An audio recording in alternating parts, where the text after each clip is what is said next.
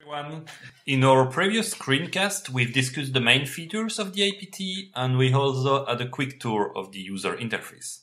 But now it's time to actually perform our first publishing.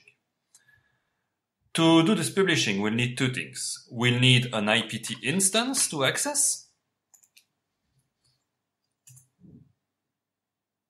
Here it is. And we'll also need, of course, a dataset to publish. Uh, we decided to publish a dataset about uh, Coccinellidae, so ladybird beetles occurring in Belgium. And to prepare this publication, I have visited the scientist who's responsible of this uh, of this dataset. And I've actually collected a lot of uh, information about it because I know I will need them later.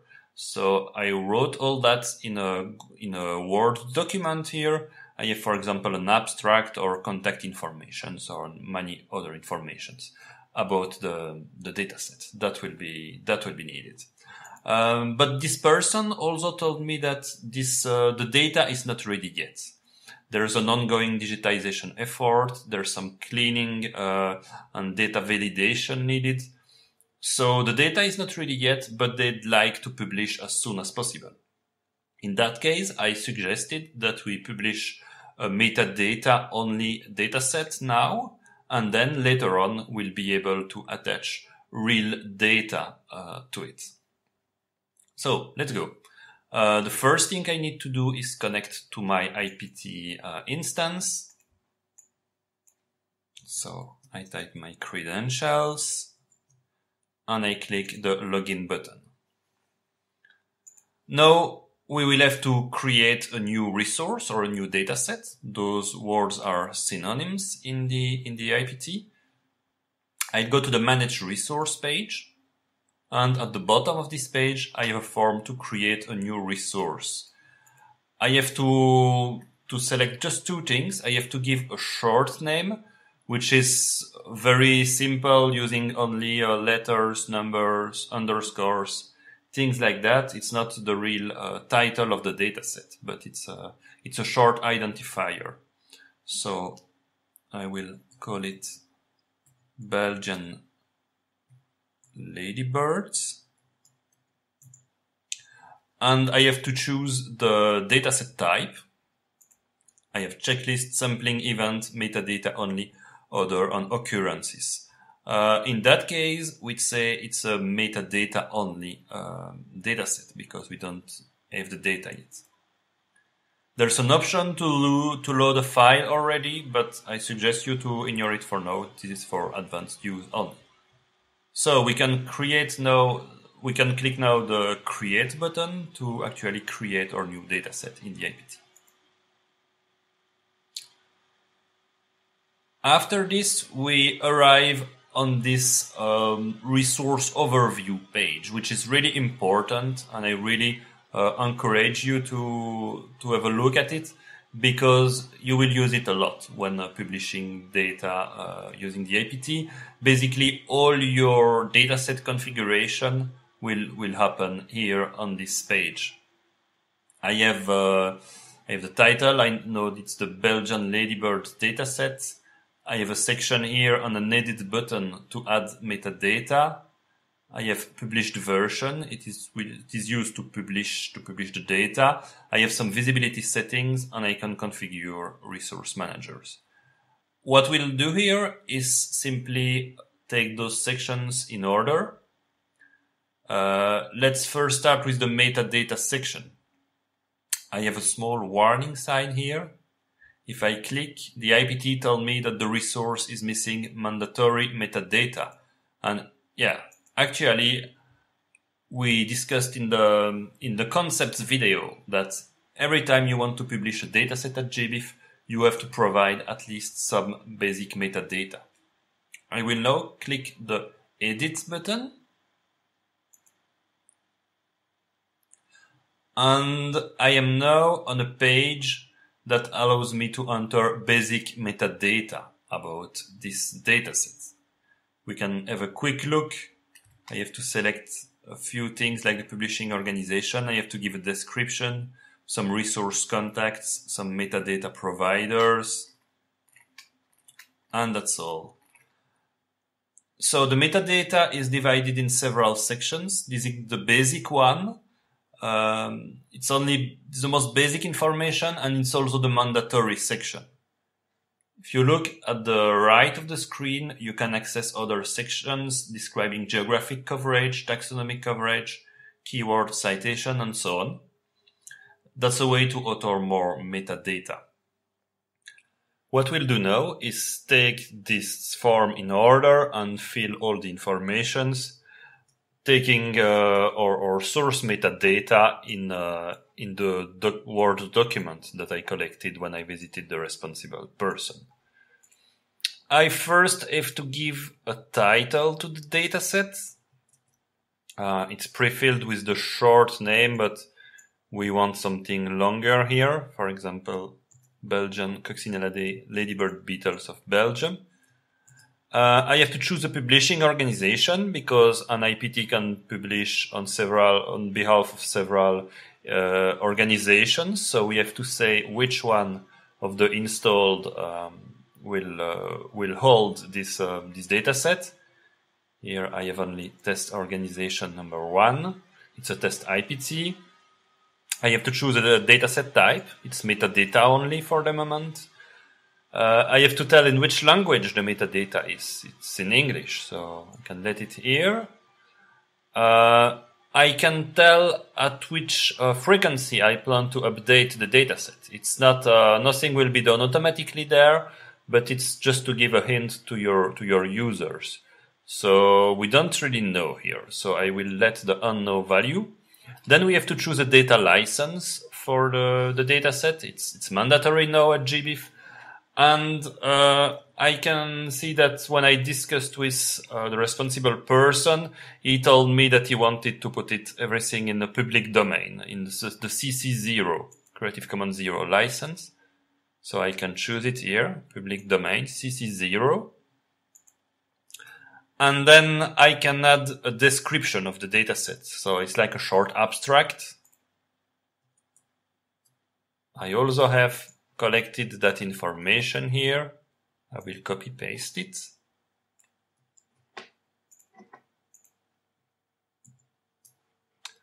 Then I have to give a resource contact information. That's really important because that's the way or your data users will be able to to contact you if they have any question or concern or remark about the, the data.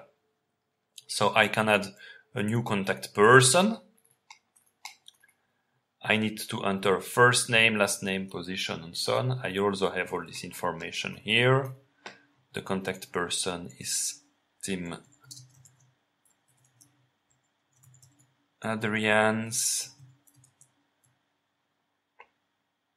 He's a researcher at the Research Institute for Nature and Forest.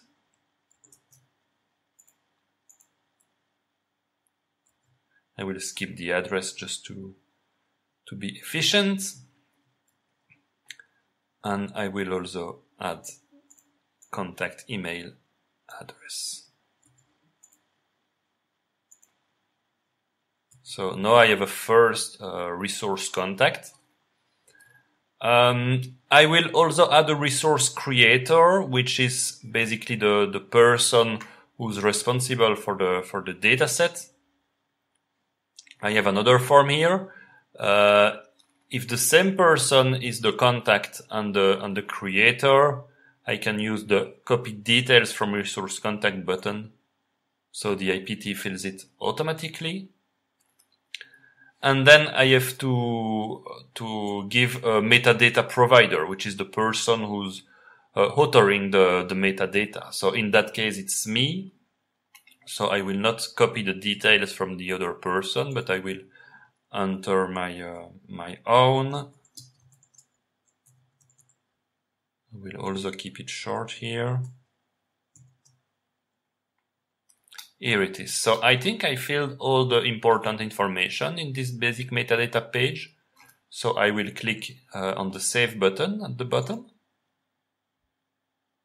And it's accepted. I have a message saying basic metadata section successfully saved. Now I can see I am on another metadata page, which is about geographic coverage.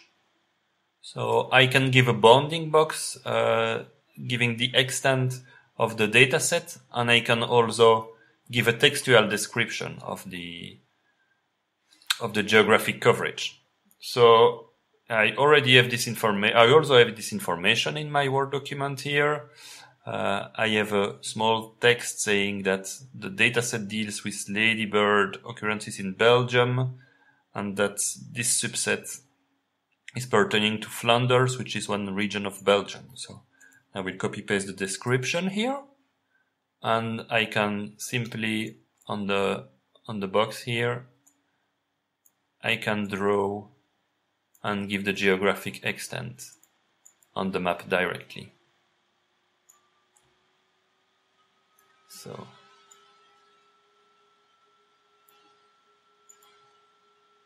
select and say this is only Flanders, the north part of Belgium. So I draw the bounding box, I put a description, and I can now save this text on this geographic coverage section. I also have a success message, and now I am in the next one, the taxonomic coverage. Here, the scientists told me that they were dealing. Um, ah, I don't have that information. Yes, I have this information here. We are dealing with a family called Coccinellidae. I can add a new taxonomic coverage and say that we are talking about family and the scientific name is Coccinellidae and this is the ladybird beetles. The common name is ladybird beetles.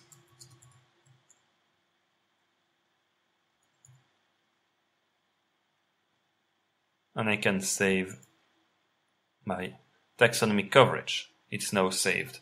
There are much more uh, metadata uh, available. I really encourage you to fill as much as possible. This is very important. But for the exercise here, we will, we will stop. So we have filled some basic metadata, which is mandatory, some information about the geographic coverage and the taxonomic coverage of our datasets. Now I will click again on the, on the title of the dataset. So I will go back to the main resource management page. Okay, we've now authored some metadata and we will continue filling uh, the different sections of this page in order. So the next one is published version and there's a very important publish button. Uh, now I have to give a bit of warning. Uh, the publish button will not make it uh, immediately available uh, at GBIF. It means publish internally, publish in the IPT, but um, connecting it to GBIF will only happen later. So I click on the publish button and the IPT uh, me to summarize the, the changes. It's useful when you do different version, but here I will just say first revision metadata only. That gives a nice uh, history of the of the dataset. And I will click yes, I want to publish. And I have a success message here saying me publishing version 1 of resource Belgian ladybirds finished successfully. So now my um, my resource is available internally into the IPT, but I want to make it uh, available to the rest of the world. I go to the next section that says visibility is private. Uh, and I have a public button here. So if I click on it, I will, my resource is now public. But public is still not uh, visible at GBIF. To actually make it public at GBIF, we'll have to click the register button that is still here in this uh, in this visibility section. But I have a, a, warning message here, and the warning message tell me the resource cannot be published because the current published version is not publicly available. Um, that sometimes happen with the current IPT uh, version. Uh, it's a bit uh, there's a small uh, workaround. You you will have to publish again. So I will go back to the previous section, click again on the publish button, give a message, published again, click on the yes message. Now it's republished and I can change the visibility uh, again and I have a register button. If I click this register button, the IPT asks me confirmation that I agree to share my data on GBIF. So I can confirm that I have read and understood the terms and click yes. Yeah, I have a small error message here because of my network connection, but uh, otherwise uh, the publication is now complete. So yeah, there's a bit of confusion between uh, the the publish section and the visibility. In summary, you need to publish the data to make it available locally. Then you make you have to make it public, so it's it's made available to to users that are not logged to the IPT. Then you have to register it to to GBIF, and sometimes to register you have to republish in between. Only when you have done uh, all this, the data is really public. So we've now uh, created a data set, authored metadata, published it, made, made it public and visible at GBIF. So we have a first uh, successful uh, dataset publication. Thank you.